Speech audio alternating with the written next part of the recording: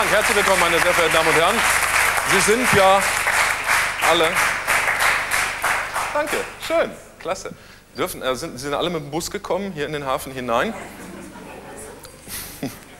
Nein, wir haben die nicht betrunken gemacht vorher. So meine ich das nicht. Ich meine, dass das Menschen sind, die wahrscheinlich noch ihren Führerschein haben, den wir ja jetzt äh, demnächst abgeben sollen, wenn wir kleine Straftaten begehen. Stand es ja, wenn man ne, Ladendiebstahl oder so. Ähm, fanden alle Parteien gut. Die CSU ist in der Hinsicht ja eine Selbsterfahrungsgruppe. Und ähm, die Frage ist, was machen die Leute, sagt der Justizminister. Sie kennen diese als Meinungsumfrage getarnte Justizminister Edzard Schmidt-Jorzig. Der sagt, was machen die Leute, die keinen Führerschein haben? die haben Verbrechen frei. schon überlegt, meinen Führerschein abzugeben. Ähm, allerdings war es eigentlich ein Vorschlag der SPD und die bezieht sich auf ein Beispiel aus Belgien und den Niederlanden. Da würde das ganz toll funktionieren. Wobei ich glaube, richtig harte Strafen wäre das erst, wenn für jede Straftat, die ein Deutscher begeht, ein Holländer dessen Führerschein kriegen würde. Ja, das war nur eine Nachricht von den Meldungen der Woche.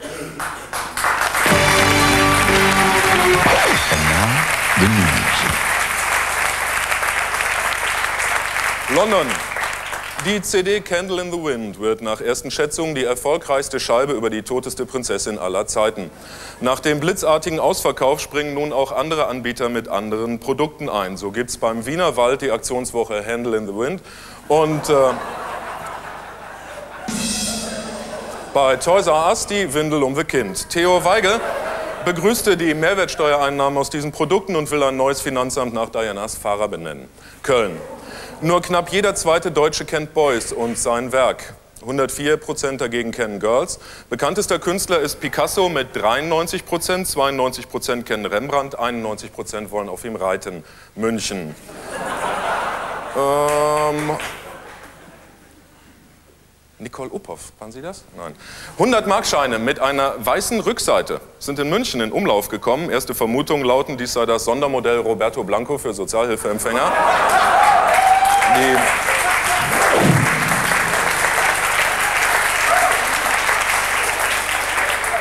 Die Bundespost erklärte dagegen, es handele sich um eine ausreichend frankierte Postkarte.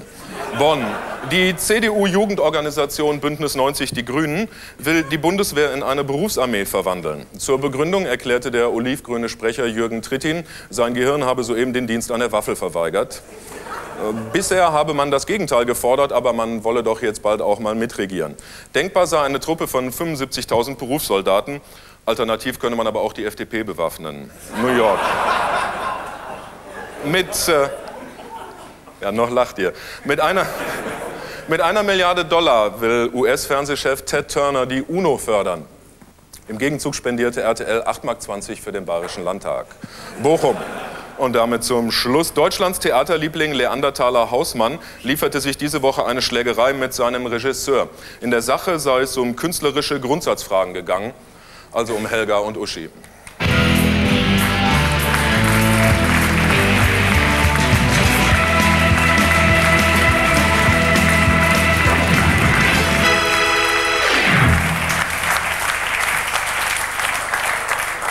Der Begriff der Gegenfinanzierung meint nicht eigentlich, dass wir mit unserem Soli den Ossis ihre schöne Gegend finanzieren, sondern es ist die aktuelle Forderung der Woche von Kurt Biedenkopf, dem vielfältigen Anwärter auf den Titel Kohl in der Pfeife Raucher des Jahres. Diesmal also fordert er eine Gegenfinanzierung und auch der Kanzler selber will natürlich Hilfe für ein Elendsgebiet, also für die FDP und prompt gibt es Streit. Kompromiss ist zurzeit, die FDP wird diese Steuer senken. Und die CDU wird irgendeine andere Steuer erhöhen. Und beide zusammen werden anschließend behaupten, sie seien sich nur mal zufällig im Wahlkampf begegnet und kennten sich eigentlich nicht. Udo und Philine Ehling aber wissen ganz genau, die beiden gehen zusammen durch dick und doof. Ich gucke gerade so, weil ich äh, den liberalen Nachrichtendiensten entnommen habe, dass dieses Hemd unter 100 Mark kostet und handgenäht ist. Das stimmt. Boah, das ist aber günstig. Richtig. Sie sind sparsam oder geizig? Ich bin nicht geizig. Das wird in meiner Heimat hergestellt, das wird äh, woanders hin verkauft. Aber ich kenne den Hersteller, Ja. ich kenne viele, die bei ihm beschäftigt sind, weil das die Menschen sind, die mit mir aufgewachsen Sie sind. sichern und, Arbeitsplätze. und da kaufe ich die. Ich sichere sie, wo ich kann, ja. Das ist gut, aber so billige Hemden kann man doch nur noch in Fernost nähen. Nein, das kann man auch in Deutschland nähen. Das Da wird ist der Standort ja in Ordnung. ja, das Super. wird. Der Standort ist besser als sein Ruf, aber wir können ihn auch noch verbessern. Sogar noch besser als Günter Rexroth sagt? Wir haben alle Chancen, im Wettbewerb zu bestehen. Wir haben eine große Wissenschaftslandschaft. Wir haben ein Land mit öffentlich angebotenem Bildungswesen. Wir haben nur einige Bretter selbst vor dem Kopf. Wir haben eine unglaublich hohe steuerliche Belastung. Wir wundern uns Oh, dauernd jetzt geht- drüber. kommt wieder das FDP-Mantra. Nein, nein, nö, nö. Wir wundern uns drüber, dass jeder Mann woanders investiert, außer in Deutschland. Das kann man doch ändern. Bevor wir das ändern, fange ich noch mal da an, dass Sie ein sparsamer Mensch sind. Wie ich gelesen habe, eigentlich erst in der Schule gemerkt haben, dass Sie selber aus einer armen Familie kommen, weil die anderen mehr hatten. Ja gut, das arm würde ich nicht bezeichnen, es waren bescheidene Verhältnisse. Normale Nachkriegszeit, meine Mutter war Kriegerwitwe. Also Das war eine, eine, da habe ich nicht gekannt, nein, das war eine, eine Entwicklung, äh, die nicht in Reichtum war. Und dann haben Sie gesagt, das nie wieder, ich gehe in die FDP. Nein. Das ist ein Prozess, äh, ob man sich politisch engagiert, der einige Zeit dauert. Ich bin dann während meiner äh, Studentenzeit zur FDP gekommen, über den Liberalen Studentenbund, durch politisches Interesse. Nun ist bei der FDP im Moment eine Rollenverteilung, die erfolgreicher ist, als vor zwei Jahren viele gedacht hätten. Nämlich Westerwelle, und Sie kommen und sagen, ja, aber der beißt nicht. Also, Gut, wir haben eine, ja gut, wir, wir haben jetzt eine Führung in der FDP, die Westerwelle einschließt, sonst viele andere aus dem Präsidium. Sie ist vielfältiger geworden. Sie hat auch unterschiedliche Persönlichkeitsstrukturen. Westerwelle ist ein anderer Typus als ich. Wir arbeiten gut zusammen, es funktioniert gut. Warum aber es ist, finde ich auch, ein Generalsekretär hat diese Art des etwas drängenden, des etwas angriffslustigeren. Das ist in der Kombination sehr gut. Das finden Sie in jeder du, Mannschaft, Sie, die Erfolg die haben CDU hat Pech mit Herrn Hinze. Nein, das ist ein äh, erfolgreicher Generalsekretär. Herr, Herr Lehrers wären Sie eigentlich geworden. möglicherweise, ja. Wie schreibt man Zierat? Zierat schreibt man Z-I-E-R-R-A-T. Hey, Sie sind in Wirklichkeit ein Fan der Rechtschreibreform. Nein, ich Das war bin- jetzt gerade die Rechtschreibung nach der Ja, ja, ja, ja. Ich bin ja, auch, bin ja auch der Auffassung, dass sich Rechtschreibung langsam weiterentwickelt. Nur ich Ja. bin eben nicht dafür, dass sie in einem Volumen verordnet wird und dieser Scherbenhaufen entsteht, der nun entstanden ist. Ob jemand Aber Delfin mit PH schreibt oder mit F schwimmen wird das Tier allemal. Herr Deutschlehrer, die FDP sagt, der Staat muss sich raushalten. Ja. Ja, dann kann ich doch auch schreiben, was ich will. Ja, warum haben sich denn die Kultusminister dran gemacht, eine Rechtschreibreform zu verordnen? Sie Wer war denn damals Vorsitzender der Ich habe Kultusministerkonferenz? eine Arbeitsgruppe eingesetzt mit 88. dem Ziel, zum Konsens zu kommen. Aber was jetzt rausgekommen ist, ist doch kein Konsens. Noch schwerer. Ja. Sie gehen, Sie gingen. Ja. Sie röntgen, Sie Was meinen Sie damit, Sie röntgen? imperfekt des Verbes röntgen. Ach, Sie röntgen. Sie? Müssen Sie noch einen T. Sie haben gerönt, Sie röntgen. Da muss noch ein T rein. Aber das können Sie doch kaum ausdrücken, also schreibe ich es auch nicht so. Gut. Sie haben genau, geröntgt, es gibt das Wort hinschreiben, nicht. genau. Prima. Sie, ich glaube Ihnen das jetzt, dass Sie Germanistik studiert haben. Wann sind Sie zuletzt geröntgt worden? Als ich ähm, meine Herzkrankheit hatte, ganz eindeutig. Ich habe Sie damals gesehen. Wolfgang Gerhardt, der, früher hieß es Vorsitzender, mit Ihnen heißt es guter, gute Launebeauftragter der FDP. Ja. Sagt, wir packen das, wir machen das, super. Also niemand läute uns das Sterbeglöckchen. 14 Tage später lese ich in der Zeitung, zu dem Zeitpunkt, wo Sie das gesagt haben, waren Sie auf der Kippe. Ist mir so passiert. Muss wohl ein Erbstück aus der Familie sein, dass an äh, einer Zuleitung zum Herzen ein Knick war. Das habe ich nun mit Bypass-Operation überwunden. Und das habe ich als erledigt betrachtet. Vor Ich dem Hintergrund- kein Problem mehr damit gehabt. Toi, toi, toi, drücke Ihnen Ja, die Daumen. Gut. bedanke mich auch. Vor dem Hintergrund las ich das dann anders, dass Ihre Frau damals gesagt hat, tu es nicht, Wolfgang, lass es sein, hör auf mit dem Parteivorsitz. Nein, sie hat äh, das nicht aus diesen Gründen gesagt, weil ich das Problem als erledigt betrachtet hätte. Mhm. Ich, das ist mir wenige Tage nach meiner Wahl passiert, urplötzlich. Dass Ja, ich das mich war vor ja vorher im Wahlkampf schon mal Ja, es passiert. war aber eigentlich weg und ich habe gedacht, es ist erledigt durch eine Glaubt man denn in so einem Moment, jetzt ist die Aufgabe wichtiger als mein Leben? Äh, Man ist in einem solchen Moment etwas unglücklich, weil man das Gefühl hat, jetzt passiert einem das. Man muss in eine Operation gehen und was haben alle anderen, für die man nun kandidiert hat, für ein Gefühl, ob er das schafft. Das hat mich schon Kann man in so einem Moment, also ich Aber das muss man würde mir vorstellen, dass ich in dem Moment sage, Partei alles schied egal. Ja, wenn man von Ärzten gesagt bekommt, dass es wirklich kein dramatischer Punkt ist, dass es durch eine Das war so. Operation erledigt werden kann, dass es keine permanente Schwäche ist, es ist eine Stelle, dann hat man eine hochleistungsfähige Medizin, dann lässt man das machen. Also ich habe mich dann so entschieden und äh, ich fühle mich wohl. Als Landespolitiker haben Sie Eckhard Gries unterstützt, den Parteivorsitzenden Ja. in Hessen. Bis zum Ende, dann wurden Sie sein Nachfolger. Als Bundespolitiker waren Sie der eindrucksvollste, der Kinkel unterstützt hat, als er schon überall gemobbt wurde. Dann wurden Sie sein Nachfolger. Zurzeit unterstützen Sie Günter Rexroth.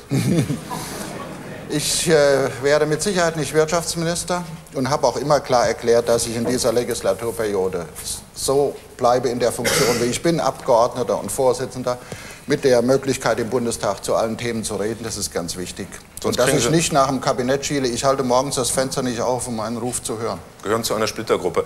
Sonst würde, Ihre, sonst würde Ihre Frau aber auch wirklich schimpfen. Und zu Recht. Herr Gerhard, erstmal vielen Dank bis hierhin. Danke auch. Wolfgang Gerhard.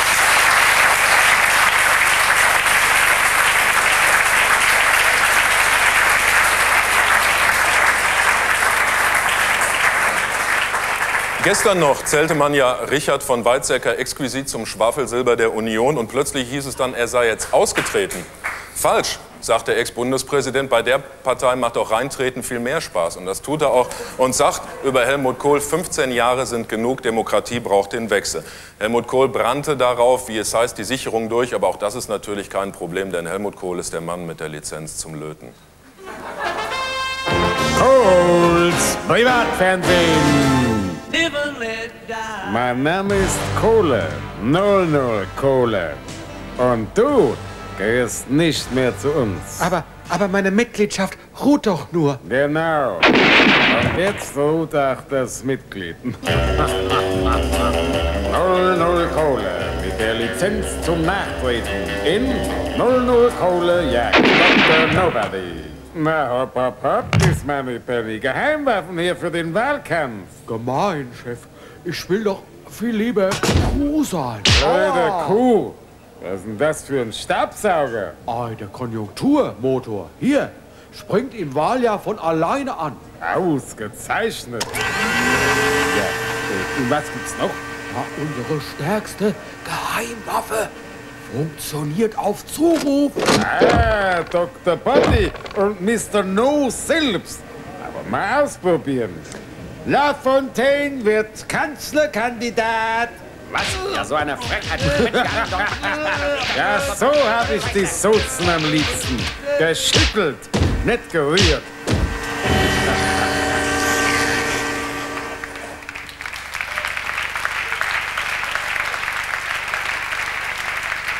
Mit seinem aktuellen Wirtschaftspapier zeigt Gerhard Schröder ja schon eindeutig die Stoßrichtung. Die SPD als die größte FDP, die die CDU je werden konnte. Dabei ist Wirtschaftspapier ja eigentlich auch nur das vornehme Wort für Bierdeckel. Und auf einem solchen soll ja der Kanzler legendär mal aufgekritzelt haben, Schröder tritt 98 an. Und beides zusammen deuten nun inzwischen die Medien wieder als einen aber sowas von eindeutigen Hinweis dafür, dass es diesmal bei der Bundestagswahl krachen wird. Ganz anders als beim letzten Mal. Da hieß es ein Jahr von der Wahl, Kohl ist am Ende. Und beim vorletzten Mal hieß es ein Jahr vor der Wahl, das schafft der Kohl nie mehr. Kurz, es scheint da einen Automatismus zu geben. Ein Jahr vor der Wahl ist die Regierung ganz unten und dann feiert die SPD so richtig und dann ähm, verliert sie die Wahl. Horst Freudenthaler und Uli Stoll, gibt es die Kohlsche Kurve? 1986. Ein Mann ist am Ende. Absolute Mehrheit für die SPD. Kohl ist ein Handicap für die CDU. Die Autorität von Helmut Kohl verfällt zusehends. 1987 Bundestagswahl plötzlich siegt er. 1989 Helmut Kohl am Ende. Die Leute haben uns satt. Helmut Kohl riskiert seinen Kopf. Und wer ist 1990 Wahlsieger? Dies ist ein Tag der Freude. Andreas Borchers, Büroleiter des Sternen Bonn. Das Magazin sieht den Kanzler im Herbst 1993 ganz unten. Kanzler in Not. Das Gespür für das Machbare hat ihn verlassen. Das System Helmut Kohl ist am Ende. Offensichtlich war das ein Irrtum, dem wir aber nicht alleine unterlegen sind. Die Demoskopen hatten die Union abgeschrieben und die Journalisten auch. Kanzlerdämmerung, Helmut Kohl im Abwärtstrend. Klaus Wirtgen, Spiegelkorrespondent in Bonn seit 27 Jahren. Er erlebt immer wieder, wie Helmut Kohl die Spiegelprognosen Lügen straft. Wir haben ja alle, äh, so hoffe ich, nicht den Glauben an unseren eigenen Verstand verloren.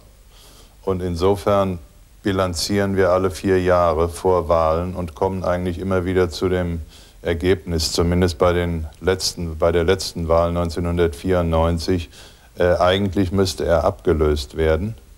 Aber er hält sich. Woran liegt das? 1993. Der Spiegel sieht Helmut Kohl am Ende seiner Regierungsära. Und ein paar Monate später kann der Kanzler verkünden, Jetzt haben wir die 90er-Wahl gewonnen, haben die 94er-Wahl gewonnen. Das Wichtigste allerdings war, das hat sich bei der letzten Wahl gezeigt, dass es ihm gelungen ist, etwa im Frühjahr 1994 den Bundesbürgern zu suggerieren, der Aufschwung hätte begonnen. Der hatte zu diesem Zeitpunkt noch gar nicht begonnen. Es ist das Übliche passiert, äh, was auch die Jahre davor passiert ist. Der Kohlsche Schweinezyklus ist wieder in Gang gekommen. Die Wirtschaft hat ihm mit einem Aufschwung geholfen. 1997, es ist wieder soweit. Helmut Kohl steht am Abgrund, wie all die Jahre zuvor. Das Ritual beginnt erneut. Die Wirtschaft wird ihm auch äh, 1998, wie das 1994 der Fall war, wieder helfen. Sie wird beispielsweise Entlassungen, die sie für nötig hält, auf die Zeit nach der Wahl verschieben, damit die Arbeitslosenzahlen nicht steigen. Möglicherweise gibt es sogar ein paar Goodwill-Einstellungen, damit die Arbeitslosenzahlen sogar ein bisschen sinken und Kohl dann verkünden kann, seht ihr Leute, es geht vorwärts. Der Kanzler im Meinungstief. Auf der internationalen Automobilausstellung verkündet er, der Aufschwung ist da. Und Journalisten tragen die Kanzlererkenntnis in die Welt. Für einen soliden, übergreifenden Aufschwung müssen jetzt weitere Zeichen gesetzt werden. Es ist alles in Ordnung. Das System Helmut Kohl macht weiter wie bisher. Die Karawane der Union zieht weiter. Dann kann ich nur sagen, ich wünsche dieser Karawane, dass sie nicht ihr Ziel erreicht und dass sie irgendwo im Sand frühzeitig hängen bleibt.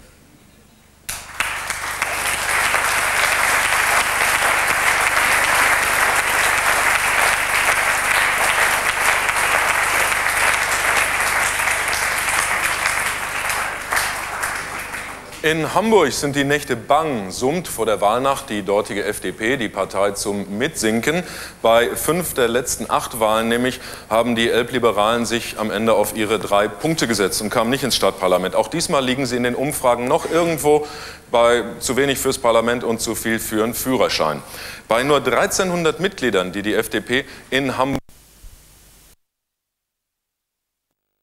50.000 Mark bei so einem Abendessen zusammengekommen. Das kann sein, ja. Das hat äh, das liberale Netzwerk immer selbst gesammelt, auch für die eigenen Anzeigen. Die Persönlichkeiten geben ja auch dann äh, Hinweise auf die FDP und Ja. finanzieren das selbst. Und das, das ist diese Zielgruppe, die den Soli nicht mehr bezahlen kann. Ja, es gibt viele, die den Soli nicht mehr bezahlen sollten. Der Soli ist eine Sondersteuer. Und ich finde, wenn äh, viele Gewerkschaftspersönlichkeiten für die SPD werben, muss ich mich nicht dafür schämen, dass mittelständische Unternehmen und leitende Verantwortliche auch für uns eintreten. Das ist das Komische, dass äh, eigentlich der, der am straffsten organisierte Fanclub der FDP, der Deutsche Industrie- und Handelstag, plötzlich sagt, er will das Wahlrecht ändern, damit wir hier ein englisches Wahlrecht kriegen ohne die kleinen Parteien. Die müssen furchtbar böse auf sie sein. Das hat der Präsident äh, des BDI gesagt. Ich teile diese Auffassung nicht. Ja. Ich halte das Mehrheitswahlrecht für äh, sehr problematisch, weil es ja auch zu Mehrheiten führen kann im Parlament, die überhaupt nicht die Mehrheit der Warum abgegebenen will Stimmen ein führender repräsentiert. Industrieversprecher die FDP nicht mehr im Parlament haben? Ich glaube, dass der Präsident des BDI sich diese Äußerung auch hinterher überlegt hat. Warum Es ist das ja nur- Was meinen Sie denn? Ja, ich glaube, dass äh, auch führende Menschen aus der Industrie sehr einfach denken. Sie glauben, sie könnten Probleme mit Mehrheitswahlsystemen lösen. Sie haben andere Bewertungssysteme, als sie ein Politiker hat. Wir haben doch eh eine große Koalition. Also die Debatte der letzten Wochen ist doch nur, warum Ja. es jetzt keine große Koalition gibt. Ja, warum soll es sie denn geben? Wir haben ja praktisch einen Stillstand in der Politik, weil sich äh, die Konstellationen zwischen Bundesrat und Bundestag so blockieren in der Wenn sie weg wären, müssten sich die. Großen ja einigen. Ja, wir müssen uns einigen, auf jeden Fall. Und das hat nichts mit dem Wegsein der FDP zu tun. Ich glaube, dass dieses Land äh, durch die FDP auch ein Stück äh, Grundlinie bekommen hat, die wichtig war. In der Westorientierung, der marktwirtschaftlichen Orientierung. Nehmen Sie mal die Ostverträge. Jetzt kommen Sie aber nicht mit der guten alten Zeit. Nein, nein, ich mache Willy Brandt war bei der SPD. Ja, Das aber wir haben seine Mehrheiten ermöglicht und sind als Vaterlandsverräter beschimpft worden. Und Walter Scheel hat damals fast die Bundestagswahl verloren, 69. Wissen Sie, ich sitze oft Sonntagabend vom Fernseher und Ja. gucke, ob es uns am Montag noch gibt, während andere in Tränen ausbrechen, wenn sie 20 Mandate Und das mit Ihrer haben. Pumpe. Hören Sie das 200. auf. Das Hören macht das kein auf. Problem. Herr Küppers, Herr Gerd, ich habe es eben so gern, dass wir doch noch eine Weile als politische Grundströmung in der Bundesrepublik vorhanden sind. Sie sind eben so elegant und beneidenswert schwungvoll über dieses Thema Soli weggegangen. Ja. Ähm, wenn man in Sachsen nur noch 1,6 Prozent der Stimmen bekommt, wie die FDP, ist das dann einfach die gerechte Strafe, dass Sie den Soli streichen? Ich habe in Hessen auch mal 2,9 Prozent gehabt und habe es wieder geschafft. Nein, der Soli ist eine Sonderbelastung. Der wird ja im Übrigen auch in den neuen Ländern bezahlt, was oft äh, überhaupt nicht der Informationsstand hier ist. Deutschland hat eine zu hohe Steuerlast. Es macht doch keinen Okay, Sinn, okay. den Menschen erst das Geld abzunehmen und dann wieder zu Es macht verteilen. aber doch, Herr Gerhard, auch keinen Sinn, so zu tun, als wären alle, die ein bisschen Vermögen haben, geizig. Vielleicht gibt es ganz Nein. viele, die wollen solidarisch sein und für den Aufbau was hergeben. Ja, ich glaube aber, dass Arbeitsplätze in Deutschland äh, nur wieder stärker kommen, wenn ich internationales, mobiles Kapital veranlasse, in Deutschland Okay. zu Investitionen zu kommen. Dann muss muss- ich hier die Anreize Äußersten. geben. Ich Ich, greife- muss die Anreize hier Ich geben. greife zum Äußersten. Ich benutze ein CSU-Argument. Gegenfinanzierung. Wenn Sie den Soli wegnehmen, wo soll die Kohle herkommen? Also hohe Steuern, die Haushalte müssten ja voll sein. Es dürfte ja kein Haushaltsloch geben. Die Steuern sind doch hoch genug. Komischerweise haben wir aber schwächelnde Haushalte. Einfach Ich glaub, konkret. Sie nehmen 7 Milliarden weg, wo nehmen Sie die her? Wir haben im Haushalt Einsparungsmöglichkeiten und ein Stück kann auch offen gelassen werden, weil bekanntlicherweise Menschen, wenn man ihnen etwas mehr vom Ertrag ihrer Leistung belässt, damit auch etwas anfangen. Also wenn die Ossis keinen Soli mehr kriegen, geben sich mehr Mühe. Es geht besser in der wirtschaftlichen Entwicklung. Wir haben zwei Steuerreformen in den 80er Jahren gehabt, wo auch jeder gesagt hat, haben wir ja Haushaltsausfälle. Wir hatten keine. Die Holländer haben 4 Milliarden Mark Mehreinnahmen, weil sie Steuern gesenkt haben. Hm. Und Prinzessin Beatrice hat diese Woche gesagt, jetzt müssen wir aber auch mal was Soziales tun nach ja, all den schweren das kann Jahren. man alles tun. Nur das größte soziale Gut ist ein Arbeitsplatz und nicht die Zahlung der Arbeitslosenhilfe. Ich will zu Arbeitsplätzen kommen. Ein, Sie haben ja einen. Ja, ich will ja auch, dass andere dazu kommen. Ein, eine interessante Koinzidenz. Im Mai sagten Sie, noch nie hat eine FDP in einer Regierung so viel bewegt. Ja. Äh, Im Juli sagten Sie, wir sind an der Regierung, aber nicht an der Ja. Macht. Ja, wir müssen das Das, würden Sie da theoretisch gegen einen Widerspruch sehen? Nein, wir haben in der Koalition die Zielvorstellung Steuerreform, Rentenstrukturreform, Gesundheitsreform durchgesetzt. Bei Gesundheitsreform übrigens auch im Gesetzgebungsverfahren. Wir sind bei den anderen Verfahren im Stocken, weil eine andere Mehrheit im Bundesrat uns gegenübersteht. Was demokratisch möglich ist. Das ist möglich, das ist legitim. Ich behaupte nur, es ist nicht fair, weil die Bundesratsmehrheit schon respektieren müsste, dass wir bei der Bundestagswahl eine Mehrheit erhalten haben. Wenn ich jetzt zehn Jahre, wir wären jetzt beide zehn Jahre jünger und würden sagen, von welcher Partei ist der denn da der Vorsitzende? Würden wir aus der Hüfte sagen FDP?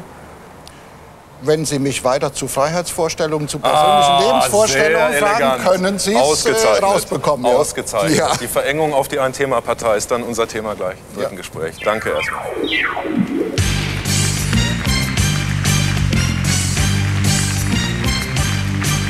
Gleich nach der Werbung.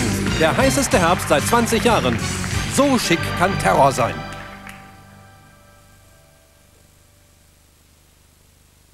Die Sommerpause ist vorbei. Ja, ja, wo es Geld gibt, ist Dieter. Heute verdiene ich mich dumm. Und dämlich, Iris. Tja, bei so viel Geld ist mir echt alles egal. Oh. Hm, Geld. Käuflichkeit pur. Alle wegen Geld da. Für mich die einfachste Art, Geld zu verdienen. Ich bin als Journalistin hier. Ja, ja, Journalistin. Geld. Wer kann dazu schon Nein sagen?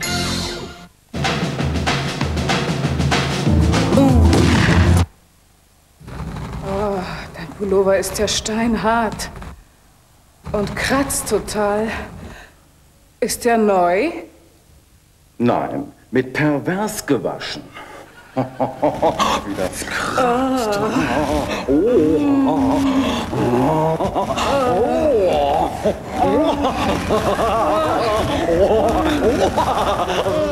Pervers, das extra harte Feinwaschmittel. Lass jucken, Pulli.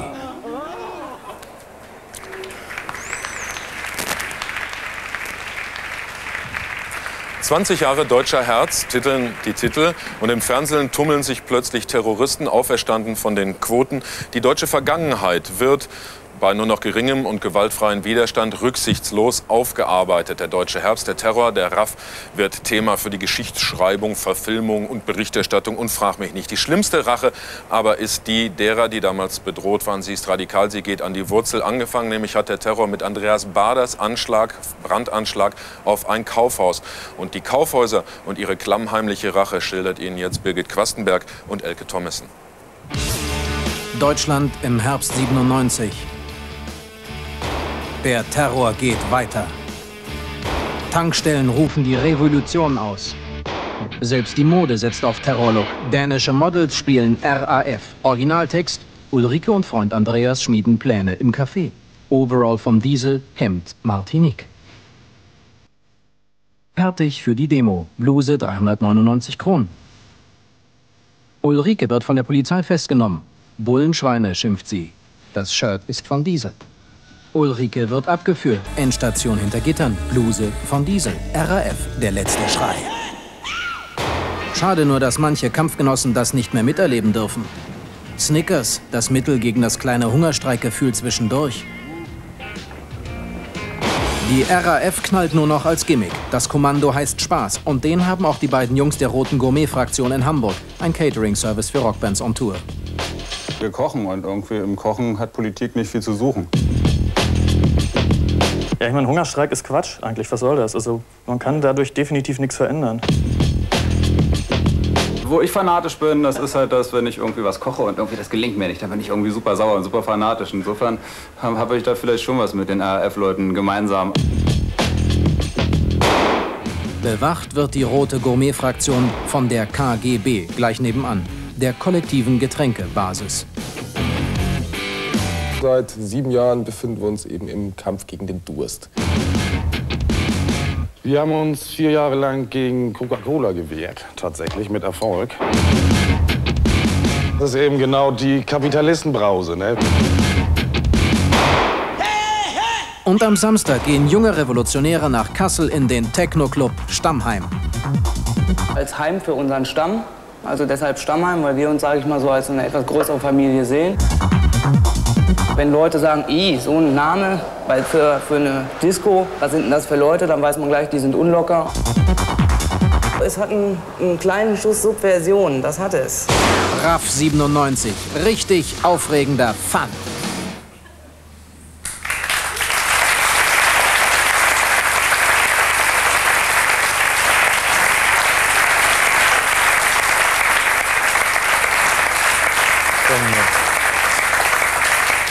Von Mao bis Mao am ist es ja eigentlich auch gar nicht so weit, staunt die SPD auf einmal und startet zum ersten Mal einen richtig US-amerikanischen Wahlkampf mit dieser Taktik. Ja, was wollt ihr denn? Blitzumfragen am Telefon und dann blitzschnelle Kampagnen sollen es richten, den historischen Dreiklang Clinton, Blair und Dingsbums. Denn da ist ja noch die dritte Frage, die zweite. Welches Schweindal hättet's denn gern? Gerd oder Oskar. Und solange die unbeantwortet ist, muss die SPD halt noch Wahlkampf machen nach dem historischen Klischee. Schatz, ich will mit dir schlafen. Ja, sagt er, fang schon mal ohne mich an. Äh, Matthias Buzinski und Sebastian Strasser aus dem SPD War Room.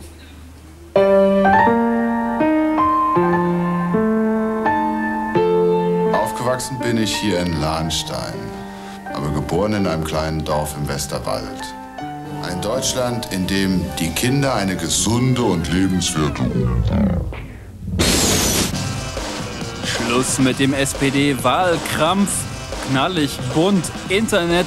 Hauptsache neu. Anmache statt Ansprache. SPD-Wahlkampf 98. Münte-Fering macht's möglich. Wir holen alles, was mit Wahlkampf zu tun hat, mit dem organisatorischen, technischen, hier in Bonn zusammen in einer eigenen Wahlkampfzentrale, die verknüpft ist mit dem Ollenauer Haus. Wo früher mal der Verfassungsschutz drin war, da rödelt ab nächster Woche die erste SPD-Wahlkampfzentrale, Codename Kampa. Das steht für Kampagne. Allein der Parteispitze unterstellt agiert hier ein frischer Trupp von Agitationsexperten. Da haben sich 400, 500 beworben. Äh, überwiegend junge Leute. Die Power haben, die nicht lange verbraucht sind in Wahlkämpfen, arbeitet, aber natürlich auch was Inhalte angeht. Das heißt wenige Inhalte, und nicht 35 Seiten Papiere. Ganz getreu der mächtigen Kopiervorlage. Tony Blairs Mega-Erfolg in England. Blair strickte erstmal seine Labour Party um. Null Ideologie, straffe Führung, stramme Gefolgschaft und auf einmal war alles sowas von neu. New Labour, New Britain. Wir haben daraus Konsequenzen gezogen, was die Organisation des Wahlkampfes angeht. SPD-Vorbild Amerika. Hauptaufgabe der Wahlkämpfer dort, Stimmung machen, egal wie, Wähler umbiegen, zum Beispiel per Telefonkampagne. Auch das wollen die Sozis kopieren. Ähm, Das wird Hauen und Stechen geben bei der Wahl. Das wird ganz schwierig sein. Und äh, ich habe auch keine Illusionen, da wird gekämpft werden müssen. We're canvassing, we're putting out signs, we're doing everything we can. It's all out war, and we want to do it. We're on the offensive, we're going at it, we never stop. So.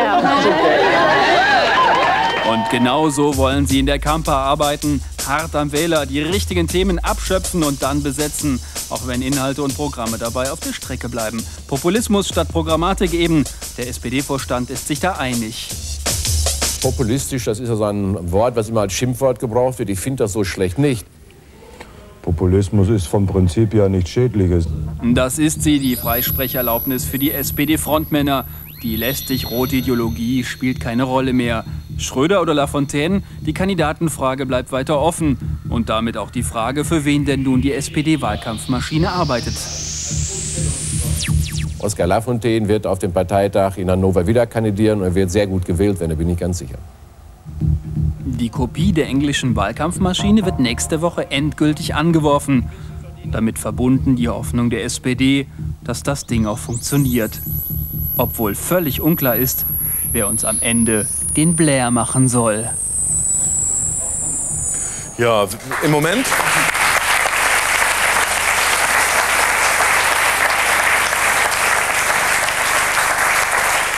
Im Moment machen uns ja sehr viele den Freidemokraten.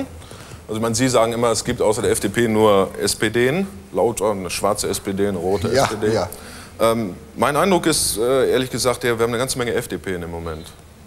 Wie kommen Sie zu dem Eindruck? Ich meine, es könnte stärker sein. Sie könnten sich noch besser wünschen. Ja, könnten wir es besser vorstellen. Überraschung. Ja. Ähm, Biedenkopf in der Union, der ganze Flügel, der aus den Sozialversicherungen aussteigen will, die umbauen will. Schröder mit seinem neuen Wirtschaftsprogramm, die Grünen Fondsmodell bei der Rente. Sie sind beim Durchmarsch im Moment. Der Zeitdruck erhöht diese Themenbereiche. Das habe ich von Anfang an gesagt. Die Zeiten, in der die Politik in der Bundesrepublik Deutschland nur Verteilungspolitik war und jeden Konflikt zugedeckt hat, wir garantierte jährliche Wachstumsraten hatten, die sind vorbei. In, So, was mich wundert, ist, dass Ihre Sponsoren und Mäzene sich so ein bisschen als liberale Widerstandsgruppe darstellen und in Wirklichkeit heute jede Putzfrau ein ein Statement zu ihrem Standortproblem braucht. Also die Themen, dieses Wirtschaftsthema hat die FDP doch meinungsführend gesetzt. Ja, natürlich, habe ich auch gar nichts dagegen, wenn andere unter dem Druck der Zeit jetzt zu ähnlichen Ergebnissen kommen müssen. Gut, aber andere, aber andere haben es fünf Jahre verschleppt. Andere haben fünf Jahre Mehrheiten auf anderer Stelle gesucht. Mhm. Wenn wir jetzt die schöne Werbung nehmen für den Börsengang der Telekom und die Telekom jetzt an der Börse ist, das hätten wir zehn Jahre früher haben können mit Veränderungen bei Tja, Telefonen. wie viele Aktien haben Sie denn gekauft? Ich habe keine Aktien gekauft. Tja, das ist aber ein Fehler. Das ist aber nicht mein Punkt, Herr Küppersbusch. Ich weiß ja auch nicht, ob Sie gekauft haben. Es haben nur genügend Menschen anscheinend gekauft. Und es ist gut, dass in dem Bereich ein Wettbewerb kommt. Das geht Es bis in Hochschullandschaften hinein. Also nicht, dass In Sie nachher Deutschland- sagen, ich wäre schuld. Wir Nein, reden ich schon wieder über Geld. Ja, wir reden gar nicht über Geld. Wir reden, wir reden über deutsches Denken. Das glaubt, ein Brief könnte nur von einem Beamten zugestellt werden bei der Deutschen Gelben Post. Und telefoniert könnte nur über das Netz öffentlich-rechtlich werden. Während andere Länder viele Telefongesellschaften haben, wo die Kunden sich aussuchen können. Telefoniert. nicht, dass Sie nach nachher sagen, ich sei schuld. Sie wollten über das irrsinnig breite Profil der Fragen FDP mich, als ja. Rechtsstaatspartei. Fragen Sie mich, Nee? ja. Also nur, dass ich es nicht schuld bin. Lauschangriff können die beiden Großen jetzt sowieso ohne Sie machen, ne? Wir haben zum Lauschangriff die verfassungsrechtlichen Schranken vereinbart, die wir auch gesehen haben. Richterkollegium, ganz eindeutig, Berichtspflicht ans Parlament, um das Ganze transparent zu machen, mit, mit Festschreibung im Grundgesetz. Also die einzige Chance, jetzt liberales Profil zu zeigen, wäre zu sagen, lass das die Dicken zusammen machen, wir finden das schlecht. Das wäre klassische FDP-Politik. ich glaube, Freiheit ist nicht nur ein Problem im rechtsstaatlichen Bereich. Freiheit ist eine Lebensauffassung. Die Gesellschaft hat sich abgewöhnt, eigentlich in ihrem privaten Bereich ein Stück mehr Verantwortung zu übernehmen. Es wird alles an große Kollektive gegeben. Es wird in, Moment. Es wird in Solidargemeinschaften gegeben. Es wird erwartet, dass der Staat Probleme löst. Es wird die Freiheit gewünscht, aber das Stück persönliche Verantwortung mit der Bereitschaft zum eigenen Ja. Risiko ist nicht mehr ausreichend da. Also gerade bei jungen Schülern ist mehr in, der, ist in der da. Didaktik wichtig, konkret zu sprechen. Ich Das Ihnen müssen Sie doch konkret. Sag ich Ähm, Ihnen konkret. Ihr Mitgliederentscheid Ja. bindet, sich beim, bindet Sie beim Lauschangriff an eine Haltung, dass Sie den jetzigen Kompromiss gar nicht mitmachen können. Doch, wir können den jetzt in Kompromiss mitmachen. Ja, wer hat jetzt recht, Sie oder Hirsch und Leuthäuser? Ich habe in diesem Punkt recht, sage ich ganz einfach, weil der Mitgliederentscheid mich beauftragt hat, in den Verhandlungen per Grundgesetz. Die Hürden, Richterkollegium soll entscheiden, nicht der Einzelrichter. Und Berichtspflicht ans Parlament wegen der Nachprüfbarkeit zu verhandeln. Das ist geschehen und so wird auch normiert. Im Übrigen beim Lauschangriff ist nicht nur ein Thema, ob man sowas möchte. Ich bin der Auffassung, dass beim Thema Drogenhandel, Menschenhandel, Waffenhandel dieses Instrument notwendig ist. Sie wissen, FDP dass in Hamburg macht gerade Wahlkampf mit Drogen freigeben. Müssen Nein, mal macht nicht mit. Drogen Doch, Cannabis freigeben, Nein, Heroin nur unter ärztlicher Kontrolle auf dem Weg zur Therapie, auch mit harten Drogen. Die FDP zu profilieren, ist der Versuch, den Pudding an die Wand zu nageln. Aber das kann ja Spaß machen. Ähm, wenn man überlegt, in welcher Haltung der Elder Statesman Weizsäcker sich jetzt zur Bundesregierung Mhm. Ist ja eigentlich für die FDP auch ein schönes Thema. Nach 15 Jahren hat sich eine Regierung verbraucht. Ne? Ja, dann müssen wir mal darüber diskutieren, welche Themen in 15 Jahren von wem behindert worden sind in der Bundesrepublik Deutschland. Die Opposition ist Ich- schuld, nein, dass die nein, nicht mitregieren. Nein, Herr Das- Küppersbusch, ich habe eine bestimmte Auffassung über Privatisierung, über Reduzierung staatlicher Beteiligung, über Aufgabenreduzierung des Staates. Ich habe einen Koalitionspartner, der sich mit dem Aufgabenbereich schwer tut Mhm. und eine SPD, die schon gar nicht mehr für gut befindet und eine grüne Truppe, die im Übrigen immer mehr zu einer Staatspartei geworden ist. Sonntag in Hamburg mit der SPD ich hab koalieren. Ja, ich hab, dann will ich aber auch Ziele durchsetzen. Ich habe 6,9 Prozent der Aktienanteile im Deutschen Bundestag, um das so zu sagen, nach der letzten Bundestagswahl. Ich habe nicht die Mehrheit. Ich habe nicht die Nicht Mehrheit. bei der Telekom. Wir haben alle Möglichkeiten in Deutschland mehr zu deregulieren, viel mehr Märkte zu öffnen. Da ist nicht die FDP dran wir schuld. reden jetzt ich werbe für eine Mehrheit, die so denkt, wie ich es für vernünftig halte. Da unterliege ich manchmal und manchmal gewinne ich. Nicht, dass wir jetzt gerade am Ende wieder über Geld geredet haben? Nein. Okay. Das ist auch war eine ein Denkeinstellung. Falscher Eindruck von Entschuldigung, mir. das ist Alles eine. Denkeinstellung. Ich will einfach nicht, dass die Menschen glauben, dass der Staat ihnen von der Wiege bis zur Bahre die Probleme abnehmen kann. Ob das nun in den neuen Ländern auf der Grundlage aller SED-Herrschaften so geht oder im Westen so ist, weil man sich daran gewöhnt hat. Das wird das Land nicht wettbewerbsfähig machen. Alles klar. Das ist es so. Sind Sie nicht froh, dass im Verhältnis zu Weizsäcker der Genscher echt zurückhaltend ist?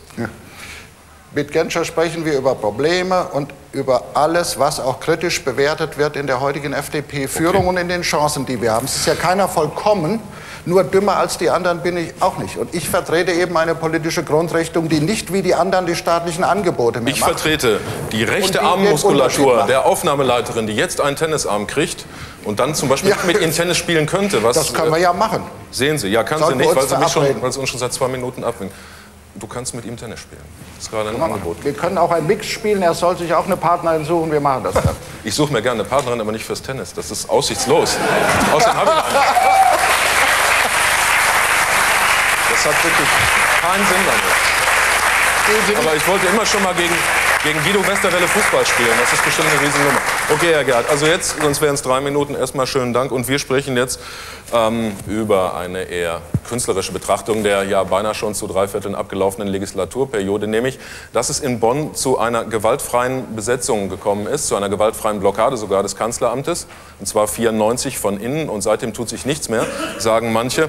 Und das sei ja auch im Grunde schon der Zugabenteil der Amtszeit von Helmut Kohl, in der er sich und manche andere in seiner Regierung, ich will niemanden angucken, Ich bin ja nicht in der Regierung. vor allem, seien Sie froh, ähm, darüber empören, dass die Opposition gar nicht so richtig mitregieren will. Und unklar ist, ob die Opposition, Opposition das auch traurig findet oder eher sagt, haben wir Glück gehabt. Jedenfalls heißt der Allparteienkompromiss zurzeit stillgestanden, Hirne. vom Rad gefallen war. Mhm. Nicht mal das kann er, aber naja, bitte sehr. Doch, hat sogar eine schwere Kopfverletzung davongetragen. Schrie, ja, ja, vielleicht dachte er, dass er damit schneller Kanzler wird. Ich weiß es nicht. So einfach, wie er im Moment gestrickt ist, ich bitte Sie, komm, ist doch, ist, im Grunde ist auch süß, nicht? Wenn er so denkt, so Deutsche werden richtig wieder gut und ehrlich, wenn die Ausländer erstmal alle raus sind, ist nicht putzig so knuddelig, gell? Oh Gott. Ah, das hat's richtig schon Kohlformat, gell? Ist nicht du. Ist so. Also da, da kann man ihnen auch gar nicht böse sein, wenn Kohl und Schröder so diesen Mafia-Bossen hinterherrufen. Ihr müsst in Privatwohnungen gehen, sonst können wir euch doch gar nicht fangen. Oh Gott, oh Gott, oh Gott,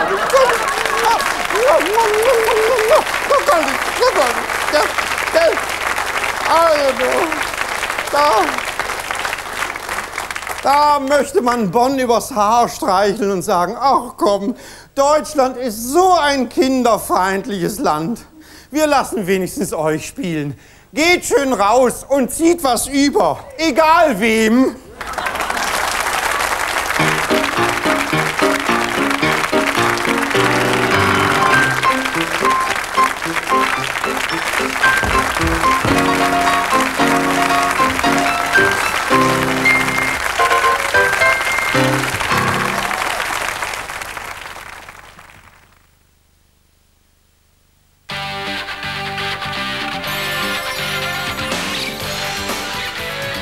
Tägliche Einsperren und das Festhalten der Menschen, das hat mich gequält.